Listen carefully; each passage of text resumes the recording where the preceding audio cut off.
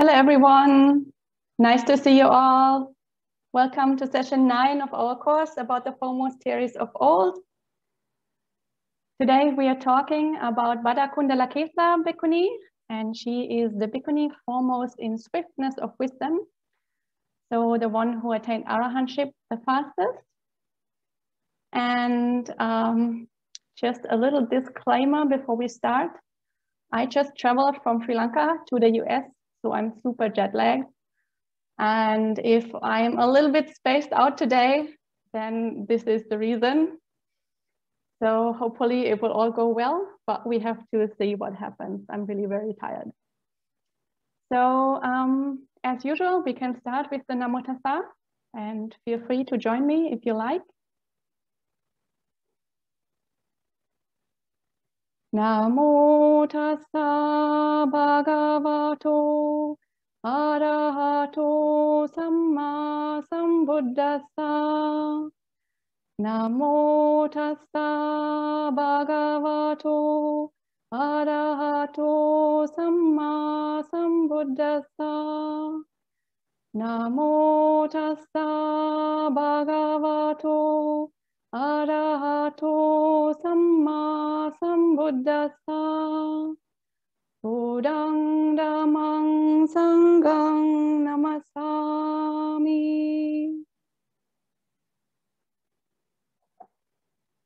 So i'll share my screen as usual and then we can dive right in.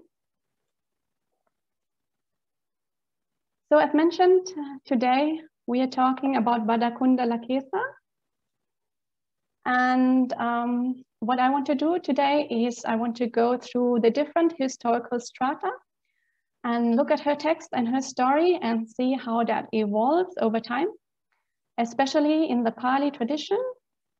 So we're going to look at her Therigatha verse first, and in connection with that, we are going to look at a special form of ordination, which is called the Ehi Bhikkhuni ordination, or the Kam Bhikkhuni ordination, which is a very early form of ordination and became very controversial for women in later times, especially in the Pali tradition.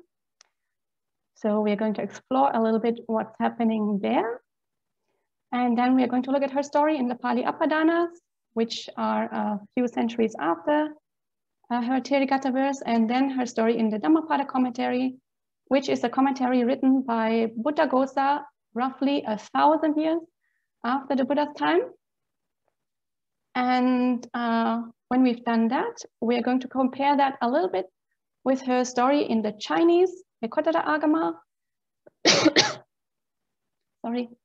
Um, and uh, that's, of course, a completely different school of Buddhism. And we will see that her story there is also very, very different. And I believe that text hasn't been translated into a Western language so far. So we are having uh, a little um, special treat today with that story from the Chinese. And uh, as I mentioned already, she is the nun who is foremost uh, among those with swift insight. Uh, and that uh, is consistent across all the different texts, all the different lists that we have. Uh, the Ekottara Agama says that she is foremost among those who attain final realization, uh, which is obviously the same thing, just phrased a little bit differently. And T126, uh, the other Chinese list, also says that she is the foremost among the disciples who can swiftly attain the goal, which of course is arahantship. So the traditions are fairly consistent um, with her foremost quality. And uh, now let's uh, have a look at her Therigatha verse, uh, which is Therigatha 5.9, and we are using Bhante Sujato's translation. And uh, we're going to read the poem first and then uh, talk about it in more detail. My hair mown off, covered in mud, I used to wander wearing just one robe. I saw fault where there was none and no fault where there was. Leaving my day's meditation on Vulture's Peak Mountain, I saw the stainless Buddha at the fore of the mendicant Sangha I bent my knee and bowed, and in his presence raised my joint palms. Come, Bhadda, he said. That was my ordination. I've wandered among the Angans and Magadhans, the Vajis, Kasis, and Kosalans. I have eaten the alms food of the nations, free of debt for 50 years. Oh, he has made so much merit. That lay follower is so very wise. He gave a robe to Bhadda, who is released from all ties. So here we have uh, Bhadda telling us her story in her own words. So her own testimony of how she lived, how she got ordained, how she practiced. Um, and uh, in the beginning, in the first stanza, she uh, talks about the practices she did before she became a Buddhist nun. And she wasn't a layperson before that, she was a non-Buddhist ascetic. Very likely she was a Jain ascetic. So the practices she mentions here are very likely Jain practices, or if not Jain, then they're very close to Jain practices. And also the Jain tradition itself uh, maintains uh, a story or the idea that Bhadda Kundalakesa was one of their nuns. So we have uh, evidence, independent evidence from uh, different sources that point us towards the fact that she very likely was a Jain nun before she joined the Buddhist Sangha. So uh, she says, my hair mown off. Um, um, so plucking out the hair is a form of the Jain um, ordination ceremony, a special um, form, a, a, special austere or severe form of uh, ordination in the Jain tradition where they rip out the hair one by one, which is of course uh, quite painful. And um, that's the point of the ceremony. It's supposed to be painful. And um, that's also where she got the name from. So her name Kundalakesa means curly hair. Uh, and that's because when they ripped out the hair, it grew back in curls, and then she became uh, she, she got the name curly hair.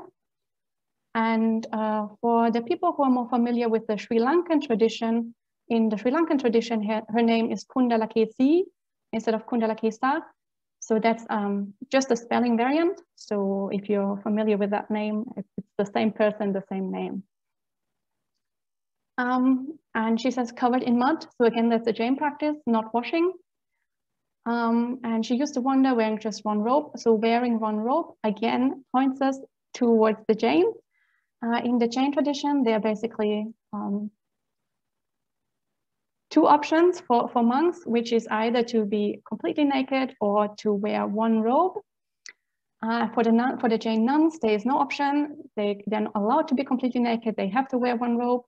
Uh, that's obviously for protection from sexual assault. Um, so uh, again, all this points us towards the Jains. And then she says that she had wrong view, like from, from the later Buddhist perspective, of course, she had wrong view. She saw that practices were faulty, that were actually pure, and uh, vice versa. Um, but she was a very dedicated practitioner, obviously. She was meditating on the Vultures Peak mountain, doing Jain meditation, obviously. And then she sees the Buddha and the Sangha, and immediately, even though she's a Jain nun, she's not Buddhist, immediately she bows down to the Buddha and uh, pays respect to him. And immediately when the Buddha sees him, he, he says, come Bhadda, and ordains her like this. So they have this uh, very close heart-to-heart connection in her own story. And this immediate mutual recognition, she immediately recognizes uh, the, uh, the, the Buddha um, the Buddha's qualities, and he immediately recognizes her as a prime candidate for ordination. And she doesn't even have to ask. He basically, she bows down and he ordains her straight away. So I, I think this is the only story where that happens so quickly. Um, this, this like immediate mutual recognition. Um, and of course, uh, he says, come Bhadda, and that was her ordination. So in Pali, this is Ehi Bhadde, and this of course uh, points us towards the Ehi Bhikkhuni or Ehi Bhikkhu ordination. And uh, that is a very early form of ordination. Um, so we know in the, in the very early days of the Sangha, the Buddha did all ordinations by himself. And um, he, of course, didn't do any elaborate ceremonies or anything. If somebody wanted to join the Sangha, he just said, come bhikkhu or come bhikkhuni. Uh, so in, in verse text, it's usually just come bhikkhu or come bhikkhuni. In the prose text, it's a little bit more elaborate. Uh, the Buddha adds, um, the Dhamma is well proclaimed, lead the holy life for the complete destruction of suffering. Um, so that is the entire ordination ceremony in the early times. But then, of course, over time, uh, it, when the Sangha was wandering around and Buddhism became more well known, it, and the, the area that they covered was much wider, it became very impractical for people to always wander back to the Buddha if there was a new candidate who wanted to ordain. So then the Buddha gave the allowance to the Sangha to ordain themselves. Um, and that's when the more elaborate procedures started to uh, form. The first one was to, uh, was to do ordination by going for the triple refuge to the Buddha Dhamma Sangha, which is still the way we are doing Samanera and Samaneri Pabbajja ordination today. And then later the, the whole um, very elaborate procedures for Bhikkhu and Bhikkhuni ordinations that we have nowadays emerged. Um, but the early, the early version of doing ordination by the Buddha himself was this Ehi Bhikkhu and Ehi Bhikkhuni ordination. And in later tradition, this kind of ordination became very much um, mythologized. It was accompanied by many, many miracles. And at that point, then later tradition started to claim that only bhikkhus could have this kind of ordination. Bhikkhunis could not have this ordination. Because of all the miracles that occur, you need to have a lot of merit to be able to undergo such an ordination. And they claim that women did not have enough merit and therefore they couldn't undergo this kind of ordination. Um, but here, I mean, clearly in this text, we, I mean, the, the nun in her own words states that she had this kind of ordination. So clearly we have one testimony that this ordination happened. Um, we also have in our Pali Theravada Vinaya, where we have a definition of what a bhikkhuni is and how you can become a bhikkhuni. And in that list, it mentions all the different forms of ordination that you can go through in order to become a bhikkhuni. And one of the forms that I mentioned there is also this Ehi bhikkhuni ordination. So here, this um, poem is, is not actually the only place where we find Ehi bhikkhuni ordination for women. But later the commentary goes through great length to redefine all these passages. So for this passage here, it says that the Buddha didn't actually say, come Bhadda, he said, go Bhadda to the bhikkhunis and get ordained there. Uh, and the passage in the Vinaya, um, the Buddha says, uh, sorry, the commentary says that um, there is a theoretical possibility that women could potentially undergo this kind of ordination, but in Gautama Buddha's dispensation, no woman actually had enough merit to actually have that. So even though it's theoretically possible, in, practice, in practice that didn't really happen. Um, so that's of course very interesting, and and the like, and the reason for that, as I mentioned, is all the miracles that are supposed to happen around this ordination. For example, it is said that if you have this ordination, then automatically all your hair will fall off. So you're, you're shaven headed like um, automatically and all your robes or your clothes will transform into Buddhist robes by miracle. And you will automatically have the appearance of a senior elder of so and so many vasa, so and so many years seniority in the Sangha.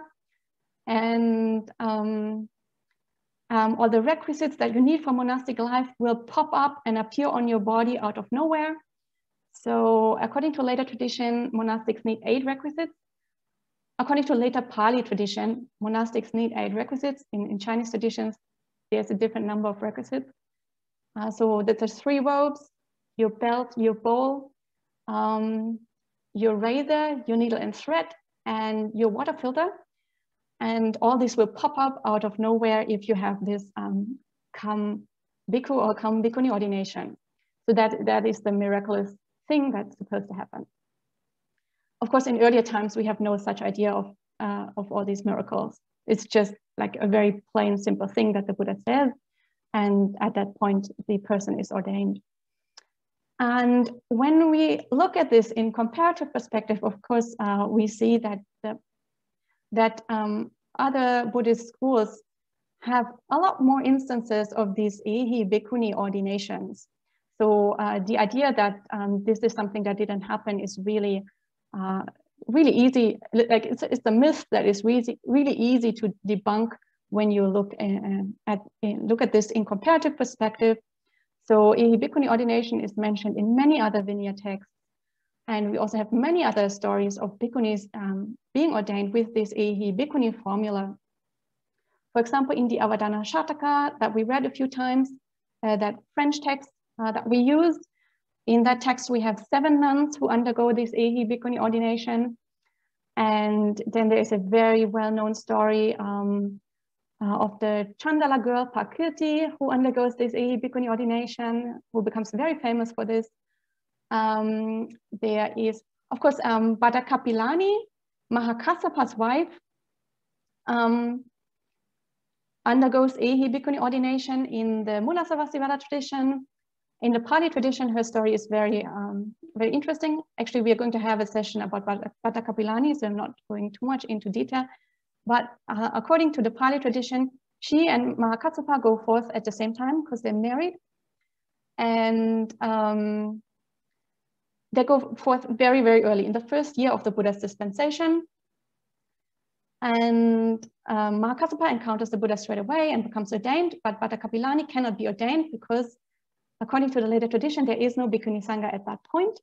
So she is, uh, she actually stay, stays in uh, non-Buddhist nunnery and just waits her time until the Buddha and Mahapajapati do found the Bhikkhuni Sangha. And then she gets ordained according to the Pali tradition. But according to um, other traditions, she actually uh, gets ordained straight away with the Ehi Bhikkhuni formula. So she's a very, very early nun in the other traditions. Um, so we have many, many instances of this Ehi Bhikkhuni ordination. We have even one instance where um, Mahapajapati herself ordains somebody with Ehi Bhikkhuni. So she ordains um, Khema, Khema the nun foremost in wisdom, the female counterpart of Sariputta, the chief nun, um, is ordained by Mahapajapati with Ehi Bhikkhuni, which is of course very interesting because uh, normally only the Buddha has the power to do the Ehi ordinations. And other Sangha members have, if they want to attend, have to use the more elaborate procedures. But here, Mahapajapati has a power to do Ehi ordination, uh, which is almost, um, almost on the level of a Buddha. And no other monk or no other nun has this power, but Mahapajapati is able to do this kind of ordination for Khema. So that is a very, um, very unusual, very interesting passage there. Uh, so anyway, this Ehi ordination is very well attested in the um, non-Pali sources. But in the Pali tradition, this becomes extremely controversial because women are supposed to not have enough merit. And when we look at Bhadda's uh, story uh, in the next uh, few historical layers of text, we are going to uh, see um, what happens to her ordination story also.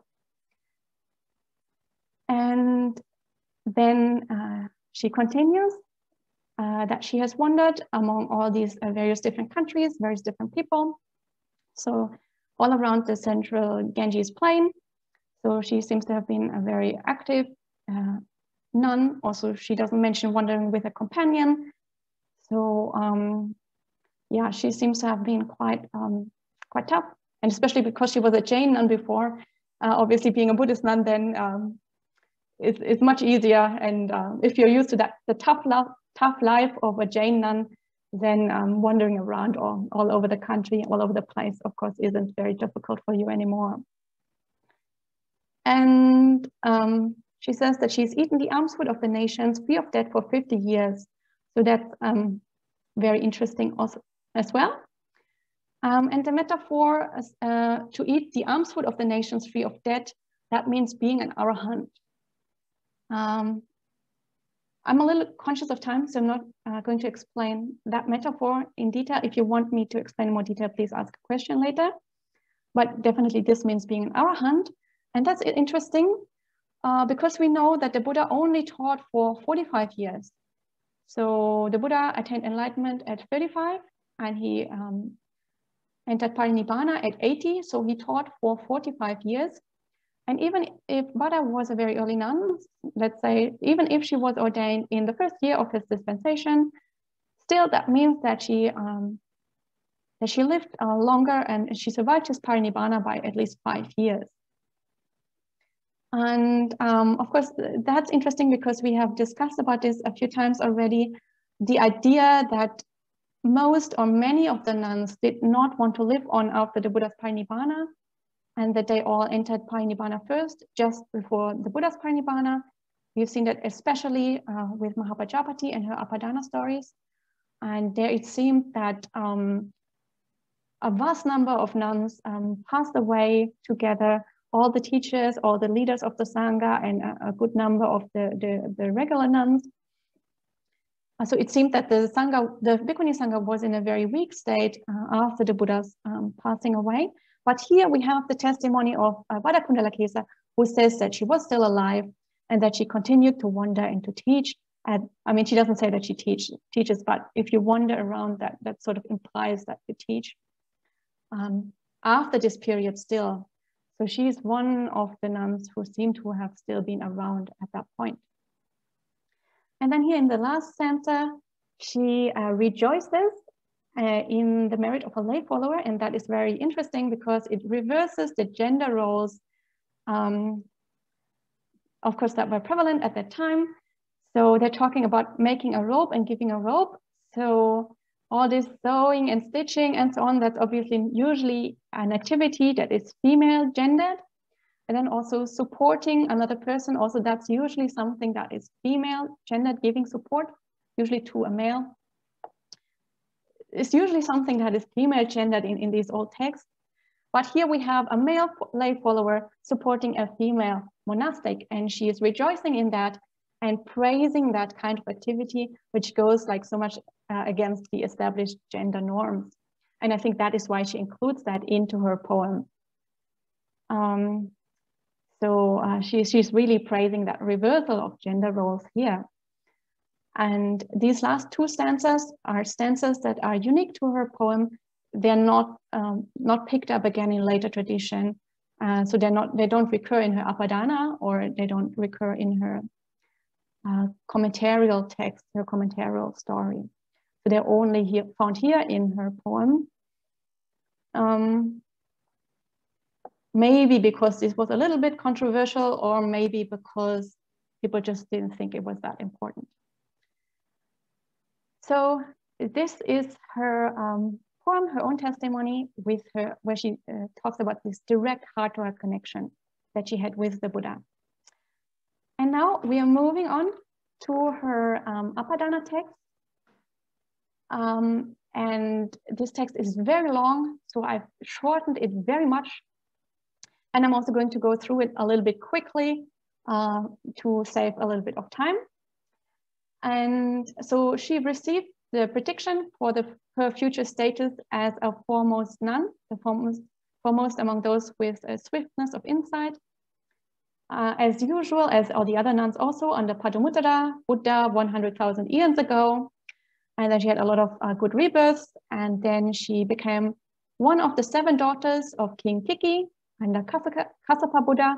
So we've talked about them before, the seven daughters or the seven sisters or the seven princesses who became all, all the foremost nuns in um, Gautama Buddha's time. And uh, yeah, we also thought about having a session about the seven daughters in our course. So maybe you can think about if you want that. And then in the end, during question and answer, we can decide whether or not we want to have that session. Um, but the, the option is still there to have that session. And uh, now she is telling her, uh, her story in her final life. And she says, and now in my final rebirth in Giribhaja, Best City. So Giribhaja is another name for Rajagaha. I was born to rich millionaires. When I become a young woman attracted to a thief, I saw being led to execution, my father paying a thousand had him freed from execution. After that, discerning my mind, my father gave me to that thief. So she's a young woman, she falls in love with a thief. She blackmails her parents. She threatens to kill herself if she doesn't get married to the guy. So the parents bribe uh, the ex executioner and he is freed, he's released and they get married. And she says, I was trustworthy for him and extremely kindly and friendly. He, out of greed for my jewels, that enemy with ill intent led me to the thieves precipice on a mountain, plotting murder. So even though she was very friendly to him, to her husband, uh, he was still a thief and he was greedy for her jewels and wanted to kill her.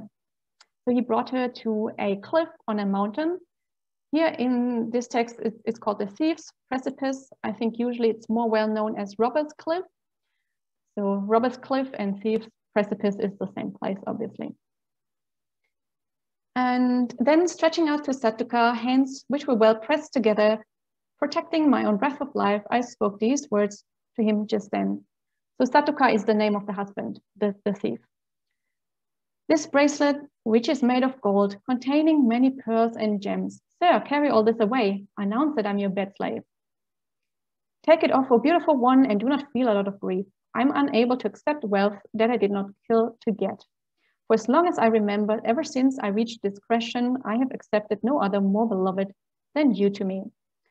So she wants to protect her own life and just tells him to just take away all the jewels. Uh, no need to kill her. But he says no, uh, he can't accept it unless he kills her. Um, so that didn't work out. Um, and then she changes her strategy and says, Come here, having embraced you, just one more circumambulation. And after now, there will be there will not be intercourse between you and me. So she um, wants to embrace him one last time. She wants to circumambulate him, which is a form of showing respect to somebody who's more senior. So she, as the wife, here shows respect to her husband, uh, and just as, kind of as a farewell gesture before she dies. Uh, and the poem continues, the man is not the one who's wise in every single circumstance, paying attention here and there, the woman is the one who's wise. The man is not the one who's wise in every single circumstance, quick thinking with good strategy, the woman is the one who's wise. Quickly, in, quickly indeed, in just a flash, I came up with a clever trick. Like a deer by a mighty bow, Satuka was slaughtered by me who fails to quickly understand the circumstances that arise, he gets murdered, that silly thief, in the belly of a mountain. So um, here again, we see the praise of her wisdom. So even in like mundane matters, she was quite smart, quite quick thinking. And of course, that then lead, uh, lays the basis for her quick attainment of arahantship because her wisdom faculty was so strong already. And basically she circumambulated him. And when she was behind him, she pushed him off the cliff and saved her own life and killed the husband. Um, yeah, who does not fail to quickly grasp the circumstances that arise, she is freed from creaturely bonds, such was I from Satuka then. Then I made him, Satuka, fall from a treacherous mountain road, and coming into the presence of some white-clad adepts, I went forth.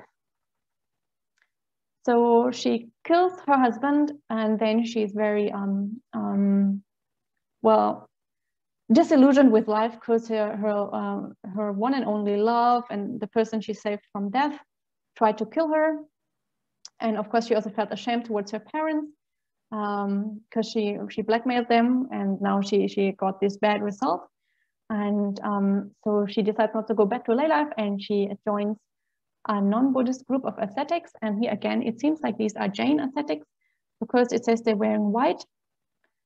And uh, in the Jain tradition, white is not the, it's also the color of lay people, but it's also the color of the monastic robe uh, because white is their color of purity. And uh, we again see her ordination ceremony. Then after plucking out my hair altogether using tweezers, being ordained in no long time, they detailed their own tradition. So she has the same ordination ceremony with the plucking out of the hair. Um, and because she's very wise, she quickly learns their tradition. Then after I had learned all that, gone off by myself, sitting down, I thought about that tradition. Then a dog brought a human hand, chewed off, and after dropping it in my vicinity, ran off. Seeing that maggoty hand, I took it up for meditation. Then producing deep emotion, I, I asked my co-religionists, they said the Shakyan Buddhist monks know the answer to your questions. So um, she is uh, contemplating the Jain, Jain um, teachings, but then she uh, receives this Asubha object, that, that human hand, And when she, um, she reflects on that hand, she has some deep feelings coming up. I assume something about death contemplation or um, yeah, the, the undesirability of, of um, whatever the body or something. It's not quite clear what kind of meditation she's doing, but it's kind of whatever you can do based on a human hand. So I think um, must be some kind of asubha practice or death contemplation.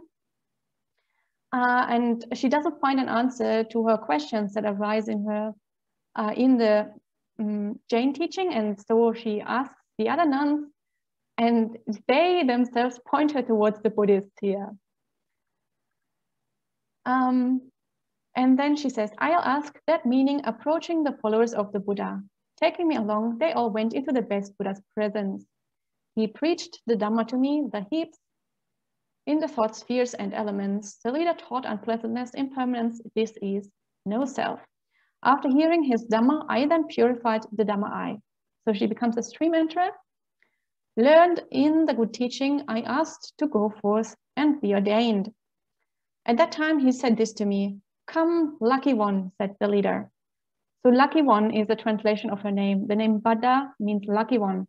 So again, Buddha says ehi bhadde, just as he did in her own poem. Then being fully ordained, I saw a little bit of water. Okay, so here we see uh, the story of her meeting the Buddha is uh, in some way similar, but also substantially different from her own story. She no longer has this immediate heart-to-heart connection with the Buddha. Instead, it is other people who have to point her towards the Buddha, and then they all go in a big group. And then also there's not this immediate reconnect, uh, reconnection, uh, um, yeah, um, um, oh, my, my brain froze. There, there's no immediate connection between the two. Um, um, and the Buddha has to teach her in quite some detail various uh, aspects of the teaching. Um, before she actually, and then she asks to, to be ordained and then she gets ordination. So it's no longer that she, she just bows down and the Buddha straight away ordains her, but there is quite an elaborate um, procedure that, that happens. And she needs quite a bit of teaching and so on before she actually does ask to be ordained. Um, so she's, she becomes a little bit more removed from the Buddha and this immediate uh, connection that they had in her own poem is no longer there. So she, she needs a, little bit more help, more support from the Buddha before she see, sees the teaching and before she then gets ordained.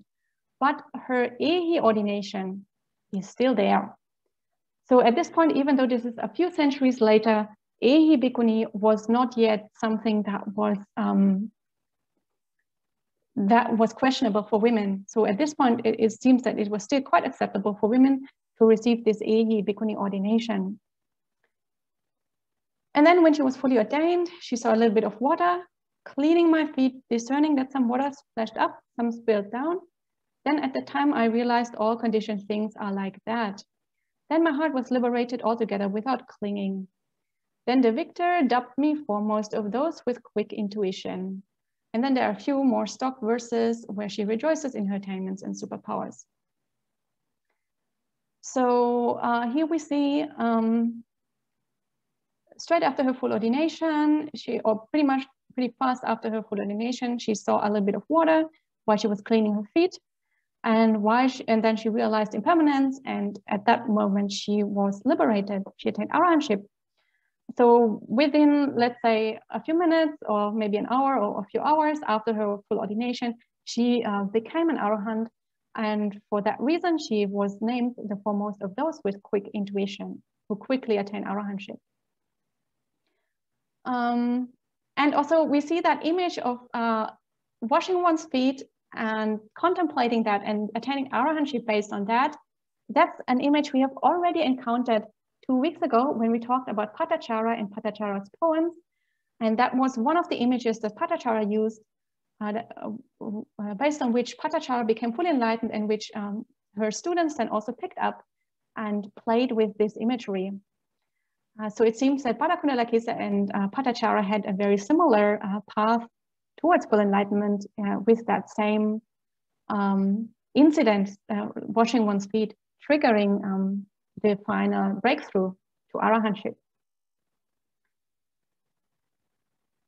So uh, this is the Apadana story of uh, Bhadda Kundalakesa, where she is, she becomes already a little bit more removed from the Buddha.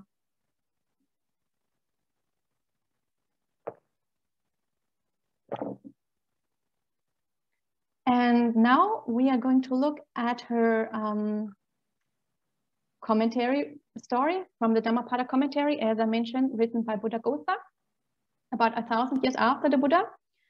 And this story is very long, so I have very dramatically shortened it because I'm mostly interested in that part which leads up to her full ordination and then what happens around her ordination and her attainment of arahantship.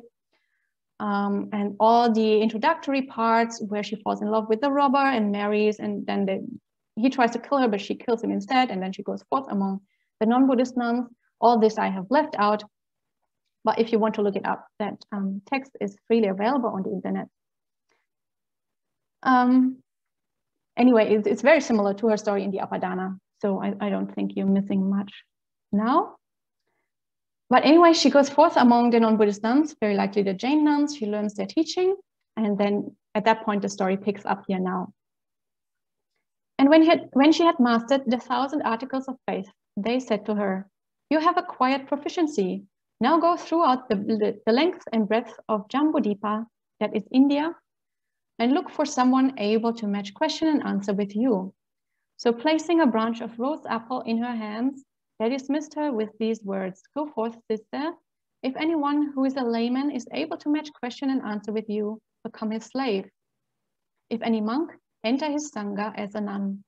No one was able to match question and answer with her. In fact, such a reputation did she acquire that whenever men heard the announcement, here comes the nun of the rose apple, they would run away. So she was a very scary woman and scared all the men away. Before entering a town or village for alms, she would scrape a pile of sand together before the village gate and there plant her rose apple branch. Then she would issue her, ch her challenge. Let him that is able to match question and answer with me trample this rose apple branch under his feet. So saying, she would enter the village. No one dared to pass beyond that spot. When one branch withered, she would procure a fresh one. Traveling about in this way, she arrived at Savatthi, planted a branch before the city gate, issued her challenge in the issued her challenge in the usual way, and went in to seek alms. A number of young boys gathered about the branch and waited to see what would happen. Then the Venerable Sariputta said, Go ahead, boys, trample that branch under your feet. When the nun returned, she asked, Venerable, did you tell them to trample my branch under their feet? Yes, sister. Well then, match question and answer with me. Very well, I will do so. The nun said to the Venerable, Venerable, I wish to ask you a question. Ask it, sister.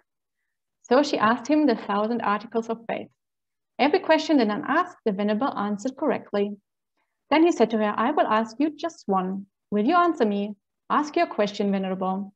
Then the Venerable asked her, what is one?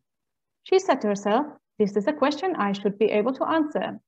But not knowing the answer, she inquired of the Venerable, what is it, Venerable? This is the Buddha's question, sister. Tell me also the answer, Venerable. If you will enter our Sangha, I will tell you the answer. Very well, admit me to the Sangha. The Venerable sent word to the nuns and had her admitted. After being admitted to the Sangha, she made it her full profession, took the name Kundalakesa, and after a few days became an Arahant, endowed with the supernatural faculties. So I think, uh, as you can see, it's, it's, very obvious her story has been dramatically changed. Um, and of course, there is no more mention um, of anything even remotely similar to the Ehi Bhikkhuni ordination. So we see at this point, is uh, Bhadda Kundalakesa has no longer even any kind of encounter with the Buddha himself. The only person she encounters is the Venerable Sariputta. And even when she has the ordination, even after the ordination, she has no contact whatsoever with the Buddha. So that that heart-to-heart -heart connection that she had in her poem is entirely removed here. And that's quite consistent with the thinking of, of the later times, where uh, it is often believed that nuns did not have access to the Buddha, which of course is not something that we see at all in the early text. So in the early text, it's quite clear that the nuns had, had totally had access to the Buddha. And we have a large number of stories actually where nuns um, go and talk to the Buddha in various ways. But for example, also in Vinaya texts, it's quite common that nuns do not have access to the Buddha. So if something happens and a new rule needs to be laid down, then um, it's quite common that the nuns go to the monks and the monks go to the Buddha. So the nuns don't have direct access to the Buddha. That's something that's very, very common in later tradition. Um, and again, here we see um, also Bhadda Kundalakesa's agency is very much removed. She no longer makes the decision to ordain herself. It is Sariputta who, who pushes her to ordain, who blackmails her a little bit because she wants to know the answer to a question. So he puts that condition on her, you have to enter the Sangha, then I'll tell you the answer. So it's no longer, I mean, it's still her own choice in some way, but in some way it's also Sariputta pushing her and she's not entirely um, making that request out of her own choice. So that agency is also removed from her. Of course, uh, she's not ordained by Ehi Bhikkhuni, she's ordained by the nuns. And um, also her name Kundalakesa, here she takes the name Kundalakesa after her Buddhist ordination, which of course doesn't make any sense because uh, as I mentioned, Kundalakesa means curly hair and is a reference to the Jain ordination ceremony, where they ripped out her hair and then it grew back in curls, and therefore she was called curly hair. The Buddhist ordination ceremony isn't like this. So we just shave our heads. So um, yeah, to take on the name curly hair at that point doesn't really make any sense. And then also the attainment of arahantship uh, for her takes a few days.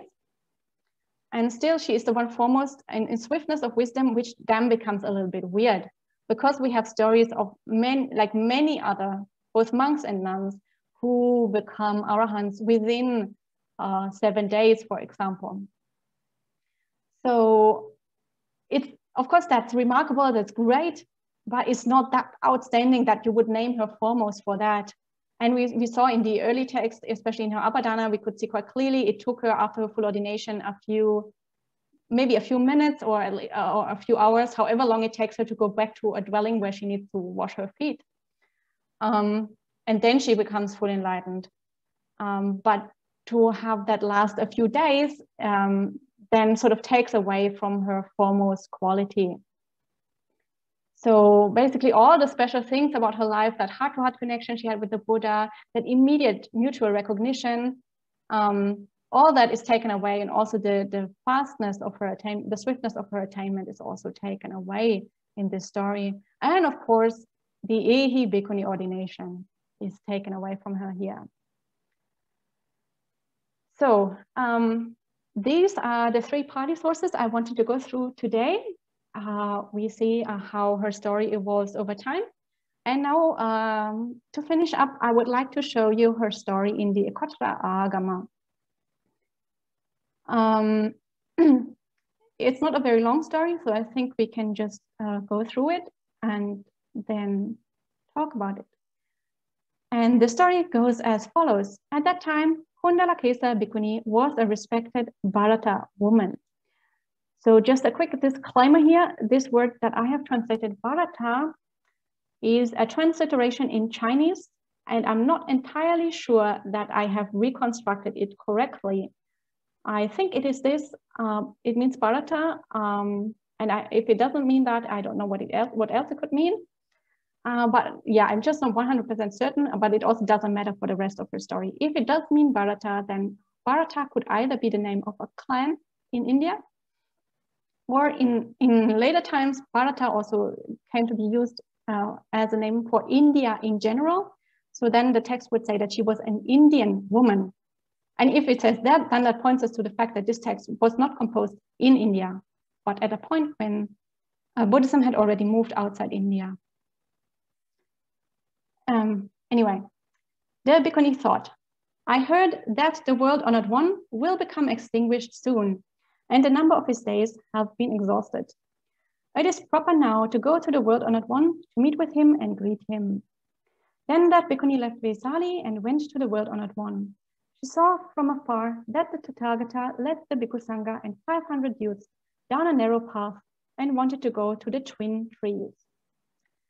So the twin trees obviously is a reference to the twin sala trees, the place where the Buddha attained final parinibbana. Um, so we see, um, whereas in the Pali text, her story is set at a very, very early time in the Buddha's dispensation. In this Chinese version, her story is set at the latest possible point in time that it could be said, set just before the Buddha's parinibbana.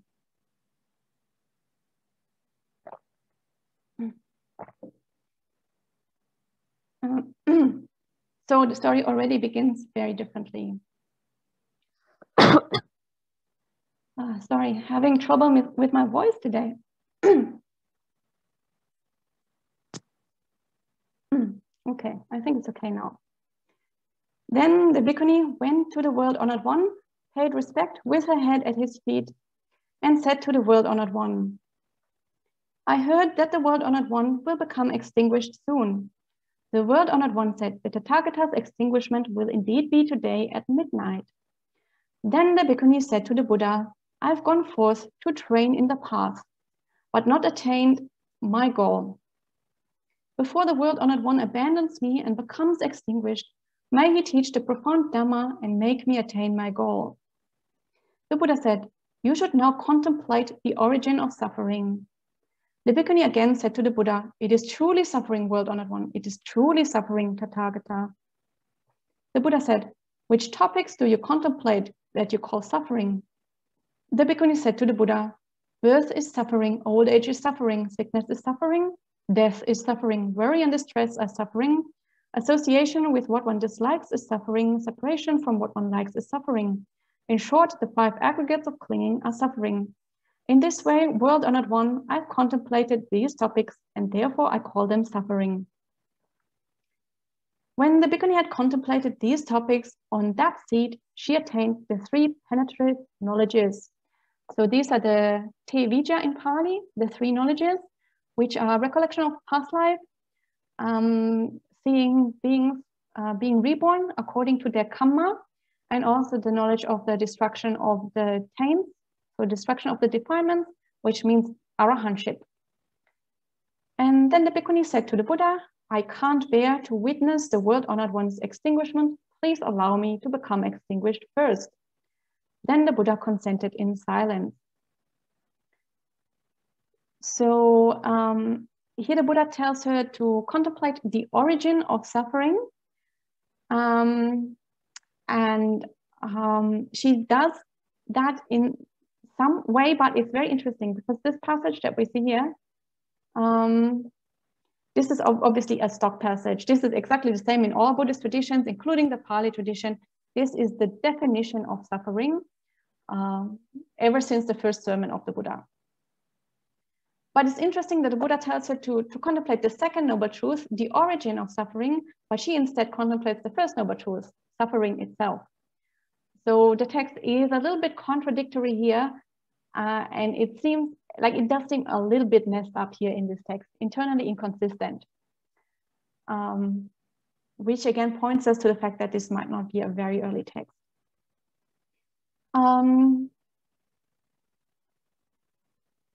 um, anyway, and then we encounter this idea again that as a woman, as a bhikkhuni, she doesn't want to witness the world honored one's extinguishment. So she doesn't want to, to be, be around for the Buddha's parinibbana, and she enters parinibbana first, which of course is something that we've seen many times. Uh, is a, a kind of like a stock passage for sort of for bhikkhuni text, sort of modeled after Mahapajapati's uh, Apadana story. Um, and of course, uh, contradicts the Pali version, the, uh, her own poem in the Therigatha, where we clearly see that she's around 50, for 50 years so she survives the Buddha's parinibbana. Uh, but here the Buddha consents to her request, and then the bhikkhuni got up from her seat, paid respect to the word honored, paid respect at the word honored, word honored one's feet, And right in front of the Buddha, she flew up in the air and performed the 18 transformations, walking, sitting, and also doing walking meditation, emitting smoke and fire from the body, raising and sinking freely without obstructions, emitting water and fire, and filling up the entire sky. When the bhikkhuni had performed countless transformations, she became extinguished in full extinguishment without remainder, so parinibbana. And on the day of her extinguishment, 80,000 gods attained the purification of the Dhamma eye. So that is stream entry. So again, this mirrors closely Mahapajapati's Apadana story, where she also performs all these miracles before she passes away. And then the word honored one told the bhikkhus, among my disciples, the foremost bhikkhuni in swiftness of wisdom is this Kundala bhikkhuni. So the quality is still the same, which allows us to conclude that this is supposed to be, this is not just another bhikkhuni with the same name, but this is supposed to be the same early disciple as the Bhadda Kundala, Kundalakesa that we have seen all along in the Pali tradition, because they have this same quality of being foremost in swiftness of wisdom. Um, and we see again that is sort of a little bit inconsistent with the rest of the story because here uh, um, she said to the Buddha, I have gone forth out of forth to train in the path, but not attained my goal. So that means she has been a bhikkhuni for a while already, but she hasn't attained anything. And only when the Buddha suddenly tells her about uh, to contemplate the second noble truth, which obviously she must have known all along, since this is kind of a basic thing that you, you probably would learn very early on as a bhikkhuni, only then does she make the breakthrough. So for her to be called the swiftest in wisdom is a little bit weird if she had if she already was a bhikkhuni for a long time before or for, for some time before that. So um, yeah, this story is this story here obviously is very, very different from the Pali and as I mentioned, it does seem internally a little bit inconsistent um, on in, in a few um, respects. This uh, um, contradiction between contemplating the second noble truth and then she contemplates the first one, and also being the swiftest in wisdom when she has been a bhikkhuni for a long time. And generally, it seems like there were a lot of stock passages that were put together. Um, and one possible explanation for this is that of course, in the Pali tradition, we have the Therigatha, which is the earliest strata of texts that go back to the Buddha's time. So when the Pali tradition evolved later literature, they had a basis to build um, the literature on, to evolve the stories from, um, because the poems of those monks and nuns were there. But we know that uh, the Thera and Therigatha, the monks and nuns verses, were never translated into Chinese.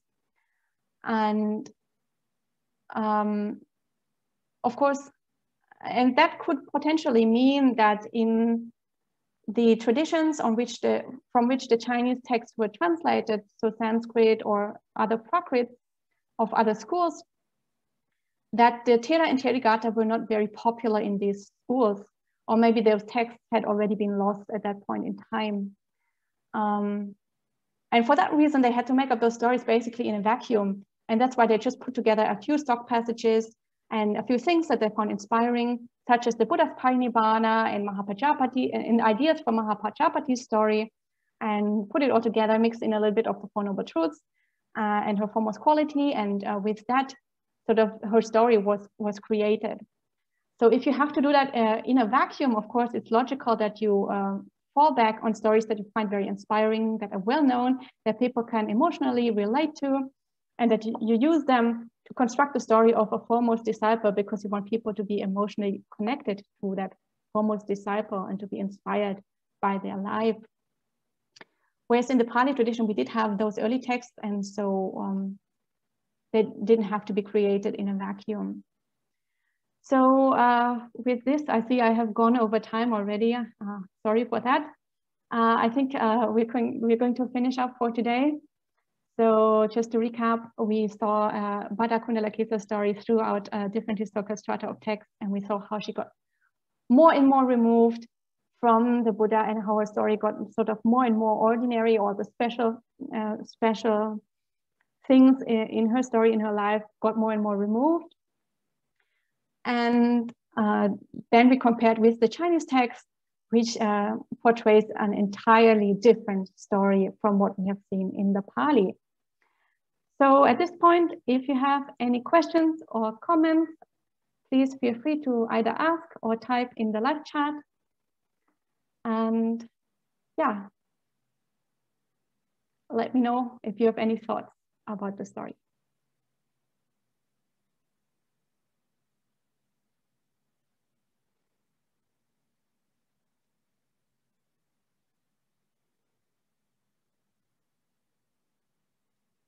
So while you think about your questions, um, there's another thing we need to discuss. Um, as I mentioned, we thought about having another session about the Seven Sisters in time, uh, which are all the foremost bhikkhunis in Gautama Buddha's time. And we have now gone through all of those bhikkhunis individually. So if we want to do a session about the Seven Sisters, then next time would be a good time. Um, the thing is, though, the stories about the Seven Sisters, they're very interesting to compare between the different Buddhist schools, but they are, there are no early sources. So this is very clearly a later text. Uh, it's very clearly fan fiction because people liked uh, the early bhikkhunis, so they made up stories about them. Um, so if we want to look at that, uh, that's fine. I'd be very happy to prepare if you're interested. Um, but there aren't any texts that go back to the Buddha's time. So this is very early, very clearly um, not something that is originally Buddhist. Um, so you can think about whether you want to have that session or not. And I just saw that some people have uh, typed some things into the chat. I didn't see that before. Sorry, Sabamita. I didn't notice. Uh, Sabamita says, where do we find these miracles? So the miracles are found in the commentarial stories. Uh, I'd have to look it up. I can send you an email. And Sabamita says, to which Dhammapada verse is uh, this the commentary? Let me check. Um, uh, verses 102 and 103. And, and Cindy asks, are there any Chinese translations of the Therigatha? No, there are no, no Chinese translations of either the Therigatha or the Theragatha, the monks and nuns verses. So it seems that they were never translated into Chinese. We have uh, mentions of the collections in Chinese texts, so there are Chinese texts that, that tell us that Thera and Therigatha existed in the um, original languages from which the Chinese, Chinese texts were translated. So either Sanskrit or Prakrit texts.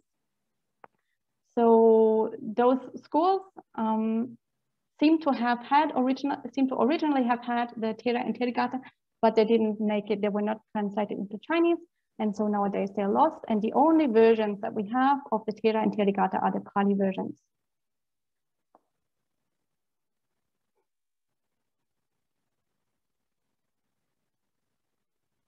Any other questions? Okay, maybe we can do a show of hands uh, for people who want to have a session about the Seven Sisters, then please raise your hand. Okay, Jillian and Anne-Marie and Esther and Dana. So I think that's the majority. So I hope all the others uh, will will not be too disappointed. I hope it's okay for, for, for okay, Sabamita is also okay with that.